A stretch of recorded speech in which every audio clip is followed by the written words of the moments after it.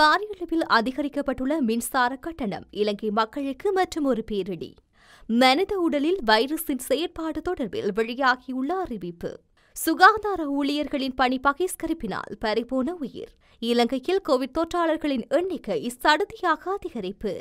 இலங்கை விவகாரத்தில் பரிசுத்த பாப்பரசர் தலையீடு. முப்பது வருடங்களுக்கு பின்னர் இலங்கையில் பெற்றோரை தேடும் ஐரோப்பா வாழ்மகள். கோட்டாபாய துவண்டுவிடவில்லை அமைச்சர் பகிரங்கம். பேருந்து கட்டணம் அதிகரிப்பு தொடர்பில் வெளியான அறிவிப்பு. ஏலக்கா ஃபுட் சிட்டியின் முதலாவது ஆண்டு நிறைவினை முன்னிட்டு பத்தொன்பதாம் திகதி நண்பகல் பன்னிரண்டு மணிக்கு நடைபெறும் லக்கி ட்ரோவில் பங்கேற்கலாம் லக்கி ட்ரோ வெற்றியாளர்களுக்கு ஐபேட் இலவசம். மின்சார கட்டணத்தை பாரியளவில் அதிகரிப்பதற்காக அரசாங்கம் நடவடிக்கை எடுத்து வருவதாக இலங்கை மின்சார சபையின் கூட்டு தொழிற்சங்க முன்னணியின் ஒருங்கிணைப்பாளர் ரஞ்சன் ஜேலால் தெரிவித்துள்ளார். இது தொடர்பில் அவர் மேலும் தெரிவிக்கையில் மின்சார கட்டணத்தை அதிகரிப்பதன் மூலம் வெற்றி பெற வேண்டும். இன்று அதிகளவில் மின்சாரம் எரிபொருளில் உற்பத்தி செய்யப்படுகின்றது. இதன்படி எரிபொருள் மற்றும் மின்சார கட்டணங்கள் வெகு விரைவில் கணிசமான அளவு அதிகரிக்கப்படும் என சுட்டிக்காட்டியுள்ளார்.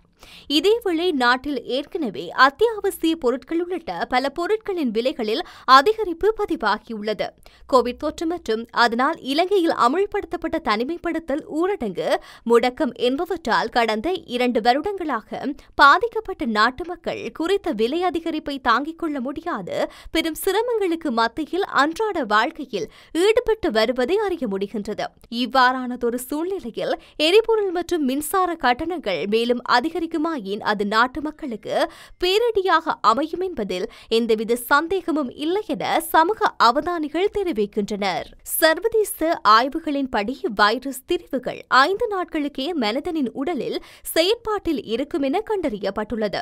அதன் அடிப்படையில் கொரோனா தொற்றுக்குள்ளான ஒருவரது உடலில் வைரஸ் ஐந்து நாட்களுக்கு மாத்திரமே செயற்பாட்டில் இருக்கும் என ஸ்ரீலங்கா சுகாதார அமைச்சு தெரிவித்துள்ளது.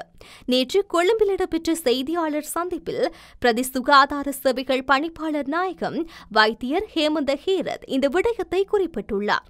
அத்துடன் தடுப்பூசி வழங்கப்பட்டதன் காரணமாகவே பதினான்கு நாட்களாக இருந்த தனிமைப்படுத்தல் காலத்தினை புதிய சுகாதார வழிகாட்டலில் ஏழு நாட்களாக குறைத்துள்ளதாகவும் அவர் தெரிவித்துள்ளார். காலி கராப்பட்டிய வைத்தியசாலையில் அனுமதிக்கப்பட்ட நோயாளி ஒருவர் சுகாதார ஊழியர்களின் பணிப்பகிஷ்கரிப்பால் உயிரிழந்துள்ளார். மகாபலி அதிகார சபையில் கடமையாற்றும் காணி உத்தியோகத்தரான கரந்தனிய பகுதியைச் சேர்ந்த பேதுருகேவா ரஞ்சித் என்ற ஐம்பத்தி ஐந்து வயதுடைய நபரை இவ்வாறு உயிரிழந்துள்ளார். அவர் இரண்டு பிள்ளைகளின் தந்தை. உயிரிழந்த காணி அதிகாரியின் பிரேத பரிசோதனை காலி கராப்பட்டிய போதனா வைத்தியசாலையின் மேலதிக மரண விசாரணை அதிகாரி சந்திரசேகர லொக்ககேவினால் நேற்று கராப்பட்டிய போதனா வைத்தியசாலையில் மேற்கொள்ளப்பட்டது. சுகையினம் காரணமாக காலி கராப்பட்டிய போதனா வைத்தியசாலையில் அனுமதிக்கப்பட்டார். எனினும் ஊழியர்களின் பணி பகிஷ்கரிப்பினால் அவருக்கு உரிய முறையில் சிகிச்சை அளிக்கப்படவில்லை. மருத்துவமனையில் கணவர் அனுமதிக்கப்பட்ட போதிலும் மருத்துவமனை ஊழியர்களின் வேலை நிறுத்தத்தால் அவரது ரத்தத்தை வடிகட்ட முடியவில்லை. ரத்தத்தை வடிகட்ட முடிந்திருந்தால் அவர் உயிர் பிழைத்திருக்க முடியும் என உயிரிழந்த நபரின் மனைவி தெரிவித்துள்ளார். இலங்கையில் கடந்த வாரத்துடன் ஒப்பிடும்போது கோவிட் தொற்றாளர்களின் எண்ணிக்கை முப்பத்தி ஐந்து சதவீதத்தினால் அதிகரித்துள்ளதாக சுகாதார அமைச்சின் கோவிட் தலைமை ஒருங்கிணைப்பாளர் வைத்தியர் அன்வர் ஹம்தானி தெரிவித்துள்ளார். இது தொடர்பில் அவர் மேலும் தெரிவிக்கையில் கோவிட் தொற்றினால் உயிரிழந்தவர்களின் எண்ணிக்கையும் பதினைந்து சதவீதத்தினால் அதிகரித்துள்ளது. இந்த நிலையில் பூஸ்டர் தடுப்பூசியினை அனைவரும் பெற்றுக்கொள்ள வேண்டும். மேலும் பொது இடங்கள் மற்றும் வழிபாட்டு தலங்களிலும் தடுப்பூசி முகாம்கள் அமைக்க அமைக்கப்பட்டுள்ளன என குறிப்பிட்டுள்ளார். பதுளை மாவட்டத்தில் குரங்குகளின் அட்டகாசம் காரணமாக வர்த்தகர்கள் பெரிதும் பாதிக்கப்பட்டுள்ளதாக தெரிய வருகின்றது. பிறகல சந்தையில் உள்ள கடைகளில் இருந்து நாளொன்றுக்கு குறைந்தது பத்தாயிரம் ரூபாவுக்கும் அதிக பெறுமதியான பொருட்களை குரங்குகள் திருடிச் செல்வதால் இந்த நிலை ஏற்பட்டுள்ளது. குரங்குகள் வாழும் காட்டு பிரதேசங்களில் மக்கள் வாழ்ந்தால் இவ்வாறான பிரச்சினைகளுக்கு முகம் கொடுக்க நேரிடும் என பிரதேச மக்கள் தெரிவித்துள்ளனர். அதிக பசி காரணமாக கடைகளில் உணவு திருடும் நடவடிக்கையில் குரங்குகள் ஈடுபடும் நிலை ஏற்பட்டுள்ளது. குரங்குகளிடமிருந்து தப்பித்துக் கொள்வதற்காக சில வர்த்தகர்கள் மட்டைகள் போன்றவற்றை வைத்திருப்பதை அவதானிக்க முடிந்துள்ளது. மக்கள் குரங்குகளை தாக்கினால் அவை மோசமாக செயற்படுவதற்கு வாய்ப்புகள் உள்ளதென குறிப்பிடப்படுகின்றது.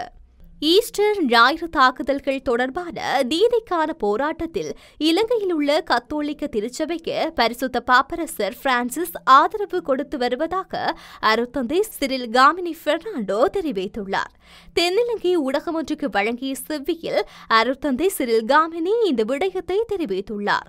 மேலும் கருத்து வெளியிட்ட அவர் ஈஸ்டர் ஞாயிறு தாக்குதல் தொடர்பான விசாரணை குறித்தான கவலையினை கருதினால் மெல்கம் ரஞ்சித் பாப்பரசருக்கு அனுப்பிய கடிதத்தில் குறிப்பிட்டிருந்தார். நீதிக்கான செயற்பாட்டிற்கு தம்மாலான சகல உதவியையும் வழங்க தயாராக இருப்பதாக பரிசுத்த பாப்பரசரும் பதிலளித்துள்ளார். அரசாங்கம் தாக்குதல் சம்பவத்தில் கொல்லப்பட்டவர்களுக்கு நீதியினை பெற்றுக் கொடுப்பதில் தவறிவிட்டது. ஈஸ்டர் ஞாயிறு தாக்குதலின் பின்னணியில் சதி இருப்பதாக முன்னாள் சட்டமா அதிபர் டபிள்யூ டி லிபேரா தெரிவித்த கருத்து தொடர்பில் குற்றப்புலனாய்வு திணைக்களம் விசாரணைகளை நடத்த வேண்டும். தாக்குதல் சம்பவம் குறித்து சர்வதேச சமூகம் மற்றும் கத்தோலிக்க அமைப்புகளை விளக்கமளிக்கும் செயற்பாட்டை ஏற்கனவே ஆரம்பித்துள்ளோம். நீதிக்கான பொறிமுறையில் சர்வதேசத்தின் ஒத்துழைப்பை நாடுவதை நாட்டை காட்டிக் கொடுக்கும் செயலாக பார்க்காமல் மக்களுக்கான ஒத்துழைப்பாக பார்க்க வேண்டும். பாதிக்கப்பட்ட மக்களுக்கான நீதியினை பெற்றுக்கொள்வதற்கு இலங்கை கத்தோலிக்க திருச்சபை தொடர்ந்தும் போராடி வரும் என்றார். கடந்த முப்பது வருடங்களுக்கு முன் நோர்வே நாட்டு தம்பதியினரால் தத்தெடுக்கப்பட்ட இலங்கை மகன் தற்போது இலங்கை பெற்றோரை தேடி வருகின்றார். நோர்வே நாட்டிற்கு சென்று அங்கு வளர்ந்த பின்னர் அந்த நாட்டு பெண்ணை திருமணம் செய்து கொண்டுள்ளார்.